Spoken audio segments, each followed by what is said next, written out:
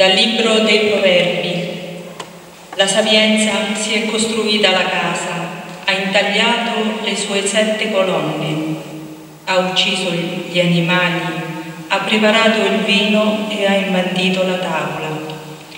Ha mandato le sue ancelle a proclamare sui punti più alti della città.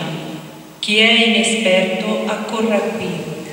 A chi è privo di senno essa dice venite, mangiate il mio pane, bevete il vino che io ho preparato.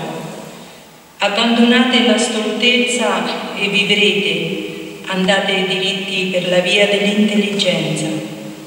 Chi corregge il beffardo se ne attira il disprezzo, chi rimprovera l'empio se ne attira l'insulto.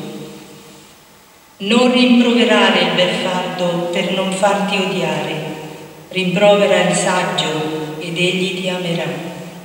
Dà consigli al saggio e diventerà ancora più saggio.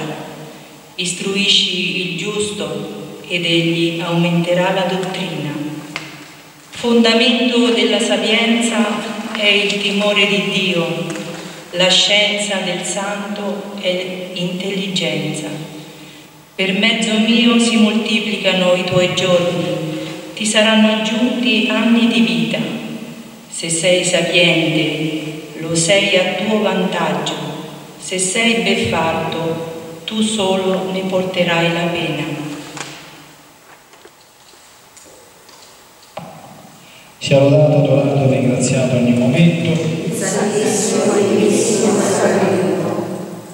Come sempre nelle ringraziamo c'è veramente tantissima sapienza, davvero tanta tanta roba. La meditazione di questa sera prende il titolo dall'incipit del brano che abbiamo ascoltato, che la sapienza si è costruita la casa.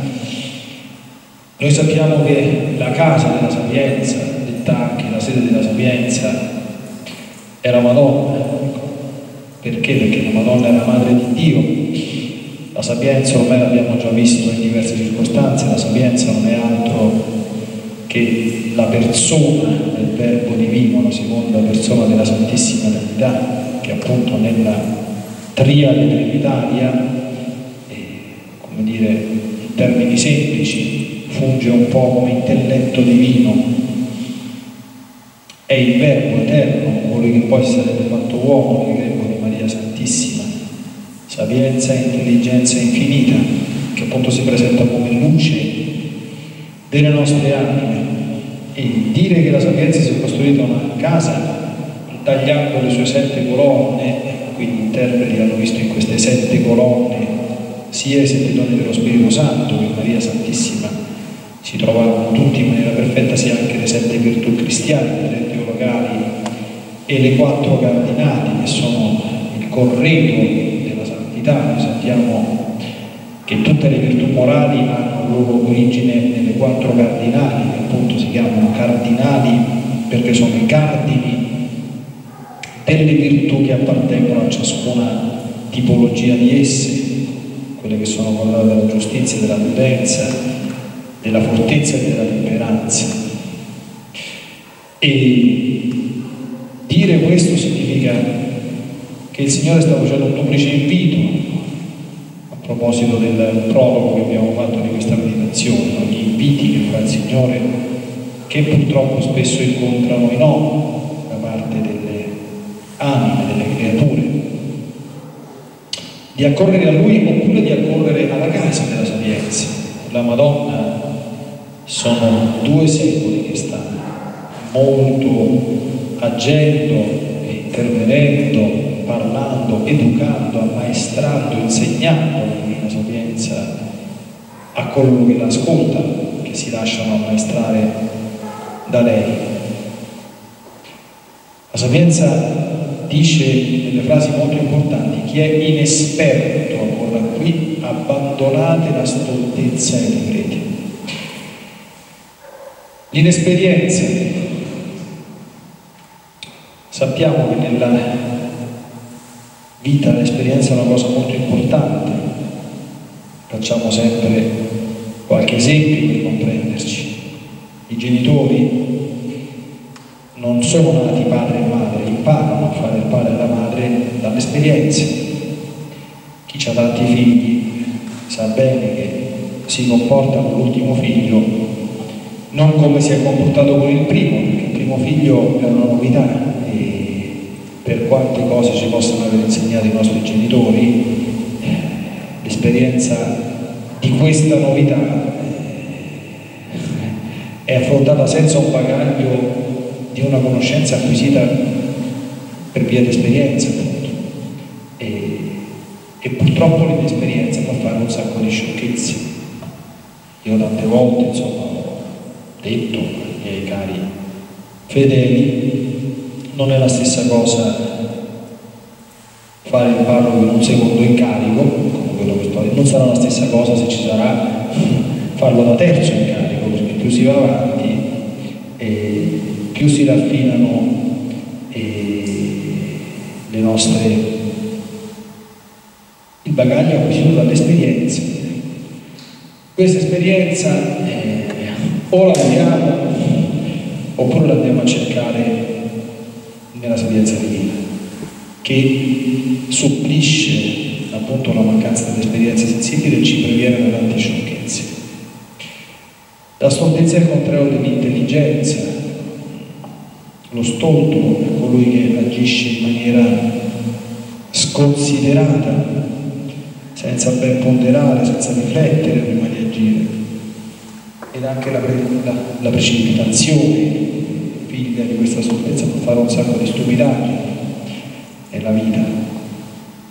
E il Signore ci previene da queste cose oppure ci corregge.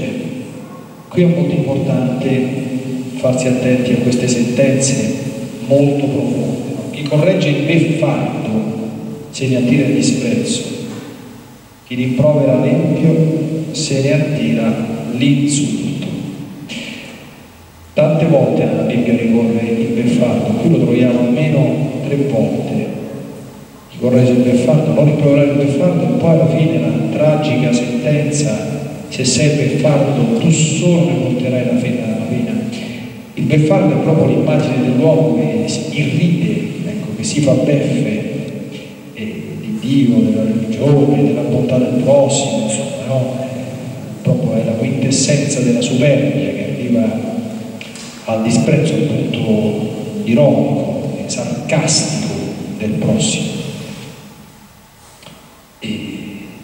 La correzione del beffardo non va fatta perché non serve a nient'altro che a tirarsi il disprezzo.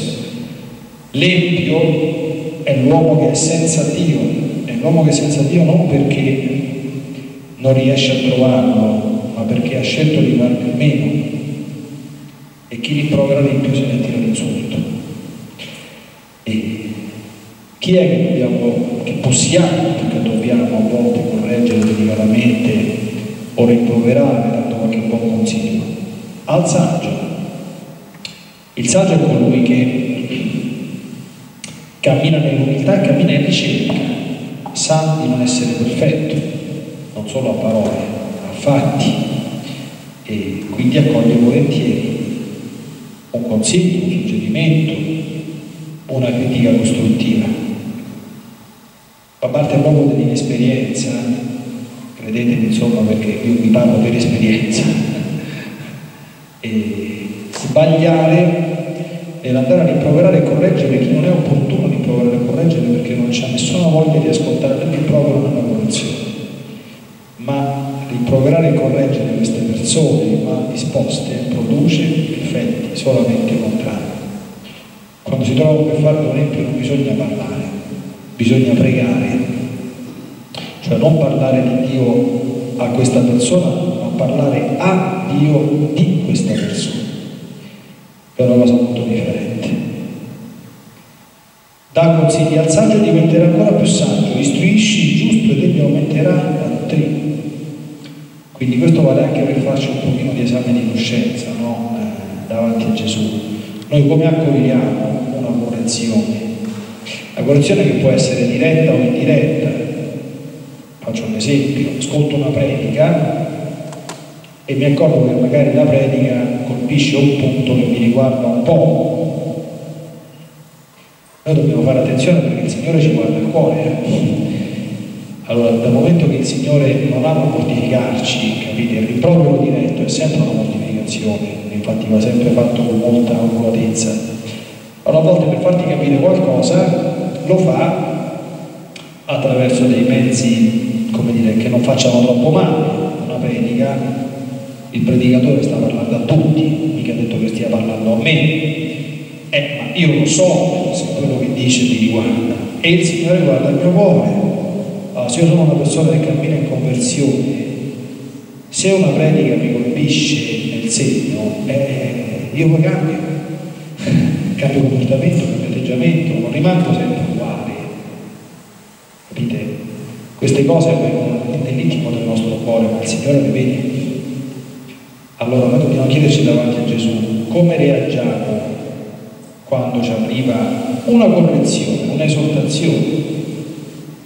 O non cambiamo mai, per esempio, cioè eh, sì, pensiamo di essere già perfetti, che non c'è niente che dobbiamo correggere, migliorare, questo insomma non basta non pensarlo però, perché se poi da un punto di vista pratico io rimango sempre uguale, anche se non lo penso, ma di fatto io sono così, ecco.